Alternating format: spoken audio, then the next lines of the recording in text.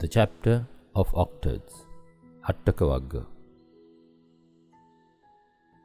Sensual pleasures, Kama Sutta. When a mortal desires sensual pleasures, if that succeeds for him, surely he is elated in mind, having gained what he desires. But when full of sensual desire, a person is aroused by desire, if those sensual pleasures decline, he is afflicted as if pierced by a dart.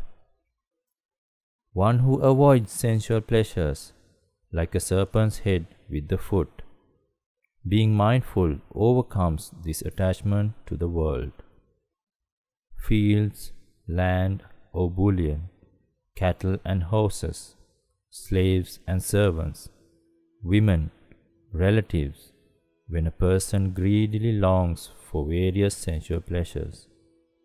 Even the weak overpower him, obstacles crush him. Then suffering enters him as water does a broken boat. Therefore, ever mindful, a person should avoid sensual pleasures. Having abandoned them, one can cross the flood, as by bailing out the boat one can reach the far shore.